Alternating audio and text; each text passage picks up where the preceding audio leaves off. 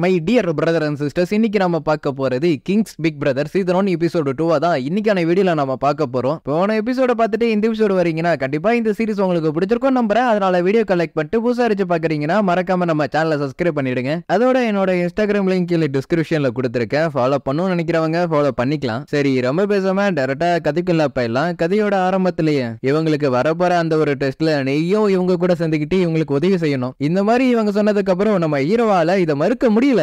ஆனா இந்த பொண்ணுங்களை பார்த்தா நம்ம ஹீரோக்கு இதுங்களா டேஞ்சருக்கான அறிகுறி மாதிரி தெரியுது. மாஸ்டர் யூ நீங்க சொன்னதுக்காக நிச்சயமா நான் இந்த வேலையை எடுத்துக்கிறேன்னு நம்ம ஹீரோ சொன்னாலும் மனசுக்குள்ள ரொம்ப வருத்தப்படுறான் ஏன்னா ரெண்டு பேரும் சமாளிக்க வேண்டிய இடத்துல இப்ப அஞ்சு பேர் சமாளிக்க வேண்டியதாயிடுச்சு. இதுங்க எல்லாத்தையும் நான் எப்படி வச்சு மேய்க்கிறதுன்னு நம்ம ஹீரோ யோசிக்கிறான். நம்ம ஹீரோவும் அந்த பொண்ணுங்கள்ட்ட பேசலான்னு பாக்குறப்ப அந்த பொண்ணுங்க நம்ம ஹீரோ பேச விடாம அதுங்க பாட்டுக்கு பேசிக்கிட்டு இருக்குங்க. உங்களை பார்த்தாலே நல்லா தெரியுது. நீங்க நல்லா நடிக்கிறீங்கன்னு. ஏன்னா நேத்து ஒரு மாதிரி நடந்துக்கிட்டீங்க இப்போ ஒரு மாதிரி நடந்துக்கிறீங்க. என்ன நீ இன்னும் என் கூட சண்டை போடணும் ஆசைப்படுறியா? அதுக்கு நீ இன்னும் வளரணும். இப்பல இருந்து நான் சொல்றதை மட்டும்தான் நீங்க எல்லாருமே கேட்கணும். நீ சொல்றதெல்லாம் நான் கேட்க முடியாதுன்னு விடாப்படியா இருக்கிறா? அதுக்கப்புறமும் இந்த பொண்ணுங்கெல்லாம் நம்ம ஹீரோ பத்தி கேக்குதுங்க. இதுக்கு மேல யாராச்சும் என்ன பத்தி கேட்டீங்க ஒரு பாயிண்ட் நான் மைனஸ் பண்ணி விட்டுருவேன். இந்த ஒரு ட்ரையல் ஆளுக்கு பத்து பாயிண்ட் நான் உங்களுக்கு தருவேன். உங்க இதுல யாராச்சும் தேவையில்லாத வேலை பாத்தீங்கன்னா உங்களோட பாயிண்ட்ஸை மைனஸ் பண்றது மட்டும் இல்லாம உங்களுக்கு பனிஷ்மெண்ட்டும் கொடுப்பேன். இந்த மாதிரி பயங்கரமான ரூல்ஸை சொல்லி தான் அந்த பொண்ணுங்களே நம்ம ஹீரோ கூட்டிட்டு போறான். மவுண்டன்ல இருந்து கீழே இறங்கினதுக்கு அப்புறம் நமக்கு என்ன மாதிரி வேலை கொடுப்பாங்கன்னு இவ கேக்குறா. ஃபர்ஸ்ட் எல்லாரும் போய் ட்ரெஸ்ஸை மாத்திட்டு வாங்க. அதுக்கப்புறம் நான் சொல்றேன். இவர் கூட பேசும்போது மட்டும் என்னோட ஹார்ட் பீட் கொஞ்சம் அதிகமாவே துடிக்குதுன்னு இவ மனசுக்குள்ள நினைக்கிறா.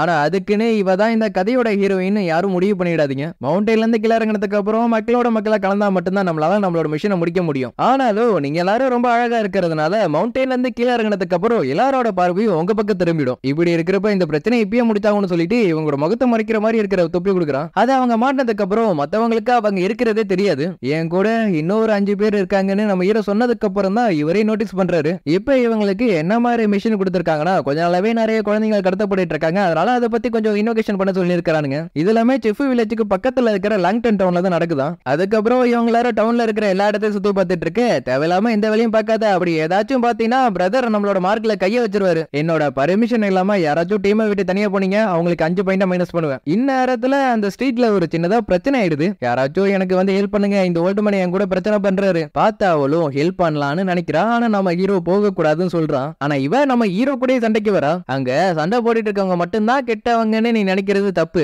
ஏன்னா அவங்களோட முகத்தை பார்த்து மட்டுமே அவங்க நல்லவங்க கெட்டவங்கன்னு முடிவு பண்ணிட கூடாது எதனால இதை நான் சொல்றேன்னா அந்த மூணு பேருக்கு பின்னாடி வேற யாராச்சும் கூட இருக்கலாம். இந்த இடத்த பொறுத்தவரையும் நம்ம எல்லாருமே அவுட் சைடர்ஸ் அதனால தேவையில்லாம எந்த வேலையும் பார்த்து பெரிய பிரச்சனையில போய் கொண்டு போய் முடிச்சிடாதீங்க. ஏன்னா நம்மளுக்கு கொடுத்திருக்க மிஷனை நம்ம சீக்கிரம் முடிச்சாகணும். இந்த மாதிரி நம்ம ஹீரோ எவ்வளவு சொன்னாலும் அவ நம்ம ஹீரோ பேச்ச கேட்கவே மாட்றா. இதுக்கு முன்னாடி இருந்த சீனியர்ஸை விட இவர் கொஞ்சம் வித்தியாசமா நடந்துக்கிறாருன்னு மத்த பொண்ணுங்க நினைக்குதுங்க. இவங்க பேசிட்டு இருந்த எல்லாத்தையுமே ஒருத்தன் கூட்டத்தோட கூட்டமா இருந்து பாத்துட்டு இருக்கான். இவங்க எல்லாரும் அந்த ஹோட்டலுக்கு பார்க்க நம்ம ஹீரோ இவங்க எல்லாரும் தங்குற மாதிரி இருக்கிற ஒரு ரூமை கேக்குறான். நீங்க மட்டும் தானே இருக்கீங்க? உங்களுக்கு எதுக்கு அவ்வளவு பெரிய ரூம் அதுவா? என் கூட இன்னும் கொஞ்சம் பேர் வந்திருக்காங்க. ஹீரோ சொன்னதுக்கு அப்புறம் தான் அந்த ஹோட்டல்ல வேலை பார்க்குற வெயிட்டரே கவனிக்கிறான். மறுபடியும் நம்ம ஹீரோவுக்கு ஒரு மூணு ஆப்ஷன் காமிக்குது. அதுல மூணாவதா இருக்கிற ரேண்டம் செலக்ட் பண்றான். என்ன இந்த ரூம்ல சொல்லிக்கிற அளவுக்கு ஒண்ணுமே இல்லைன்னு மத்த பொண்ணுங்க எல்லாம் நம்ம ஹீரோ கிட்ட கேக்குதுங்க. ஃபர்ஸ்ட் டைமா இந்த மாதிரி இடத்துக்கு வரதுனால தான் இந்த மாதிரி கேக்குதுங்க போல இருக்குன்னு நம்ம ஹீரோ நினைச்சுக்கிறான். ஆனா இந்த பொண்ணு பேசுறத பார்த்துட்டு ஒருவேளை இந்த பொண்ணுங்களோட பேக்ரவுண்ட் கொஞ்சம் பெரிய இடமா இருக்கும்னு நினைக்கிறேன். அப்படி மட்டும் இருந்துச்சுன்னா இவங்க கூட அனுப்புறதுக்கு வேற ஏதாச்சும் ஒரு காரணம் இருக்கும்னு நம்ம ஹீரோ யோசிக்கிறான். சரி எல்லாரும் போய் தூங்குங்க. நாளையில இருந்து உங்களோட ட்ரையல் ஆரம்பிக்கலாம்னு நம்ம ஹீரோ சொல்லிட்டு போறான். ஆனா இவளுக்கும் நம்ம ஹீரோ பண்றது எதுவுமே பிடிக்க மாட்டேங்குது. இவன் கூட இருந்து இவன் சொல்றதை கேட்டா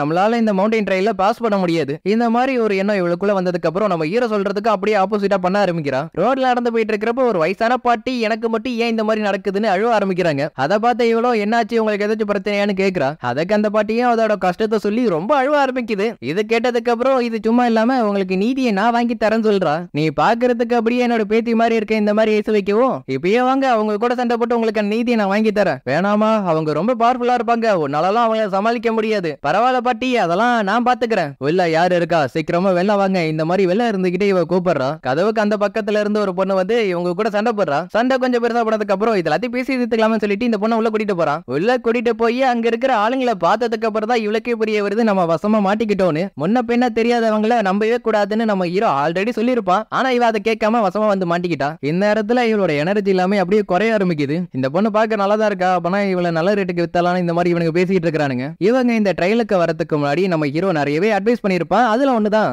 உங்களுக்கு ஏதாச்சும் பிரச்சனை வரப்ப முடிஞ்ச அளவுக்கு சண்டை போடுங்க. முடியாத பட்சத்துல அங்கிருந்து ஓடி வந்திருக்கேன் இல்லைன்னா நீங்க அந்த இடத்துலயே சாகுற மாதிரி ஆயிடும். எவ்வளோ அவளால முடிஞ்ச அளவுக்கு அங்க இருக்கிறவங்க கூட சண்டை போடுறா. அப்படி அவ சண்டை போட்டுட்டு இருக்கும் போதே அந்த பாய்சனை கண்ட்ரோல் பண்றதுக்கும் ட்ரை பண்றா. அவ அவ தப்பிச்சு போயிடக்கூடாது. சீக்கிரமா அவளை பிடிங்க. இவங்க கிட்ட இருந்து தப்பிச்சு போறதுக்கு ஒரு சின்னதா வாய்ப்பு கிடைக்காதான்னு இவ பாக்குறா. இவங்க கூட்டத்திலேயே கொஞ்சம் பவர்ஃபுல்லாவும் பாக்குறதுக்கு ஈடுற மாதிரி இருக்கிறவன் என்ன பண்றானா? நான் சொல்றத மட்டும் நீ கேட்கல நான் அவனை கொன்னுடுவேன்னு மிரட்டுறான். திடீர்னு ஒரு பிளாஷாக நம்ம ஹீரோ அந்த இடத்துக்கு வந்துட்டு பரவாயில்ல இவளுக்கு எதுவும் ஆகல. உங்களால இங்க இருந்து தப்பிச்சு போக முடியாதுன்னு ஒரு பெரிய அட்டாக் பண்றான். அப்படி ஒரு பெரிய அட்டாக் பண்ணியும் நம்ம ஹீரோவுக்கு எதுவுமே ஆகல. இந்த இடத்துல இந்த எபிசோட முடியுது. இதுக்கப்புறம் நம்ம ஹீரோ அவன் கூட எப்படி சண்டை போட போறாங்கிறது அடுத்த எபிசோட தான் தெரியும். இந்த எபிசோடோட லென்த் ரொம்ப கம்மியா இருக்குன்னு யாரும் கோச்சிக்காதீங்க. ஏன்னா ஒரிஜினல் எபிசோடோட லென்த் ரொம்ப கம்மியா தான் இருந்துச்சு. அதனால யாரும் என் மேலே கோச்சிக்காதீங்க. சரி ரொம்ப பேசாம அடுத்த எபிசோட்ல பார்க்கலாம். Bye see you take bye love you all see you